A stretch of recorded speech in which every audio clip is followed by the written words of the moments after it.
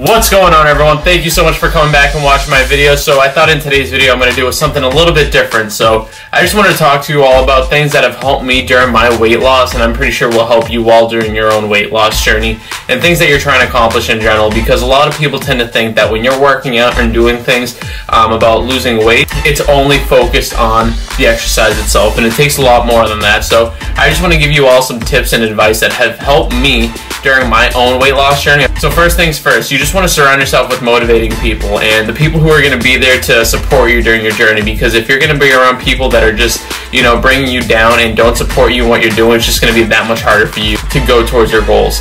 So for example, with my family, I had my brothers help me during my own weight loss journey and I also had my family support me and everything like that. So I was thankful enough and blessed enough to have those people by my side throughout the whole journey.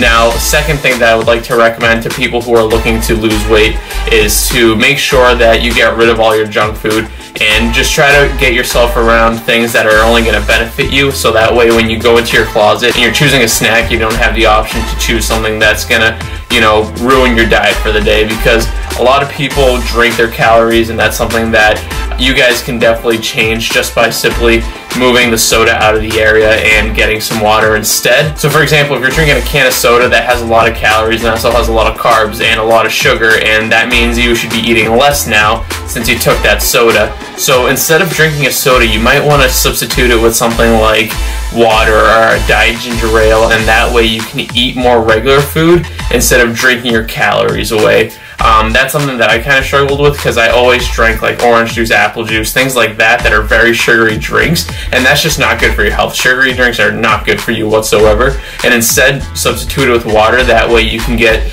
more food, and, and who doesn't want to eat more food? Just make sure you're choosing the right foods. And a little tip for choosing foods, for example, is that I like to eat a lot of vegetables because it volumizes the portion. That way it looks like you're eating more, and you definitely are eating more, that's the thing, and it fills you up more mentally because if you're going to choose a calorically dense food, then you're only going to get a small amount of it, and if you're going to choose a more nutrient dense food, then you're going to get more benefits from it health-wise, and you're also going to get fuller because there's more of it. Now, the last thing that I want to recommend to you all is stay consistent because staying consistent is very huge, especially if you're going to the gym. A lot of people go to the gym and they don't see the results that they want to see within a week, within a day, and they need to understand that it takes more than a day, it takes more than a week, it takes a very long time. I myself am still on a journey, and I've been on this journey for about two years, and I'm still working towards my goals. It took me about a year and a half to lose all the weight that I did lose, and I'm still working towards my goal of cutting, and I also want to build more strength. So you all need to understand that it doesn't just happen overnight, and people need to understand that you need to stay consistent because you, there are walls that you will hit when you go on a weight loss journey, and it's not going to be easy at all.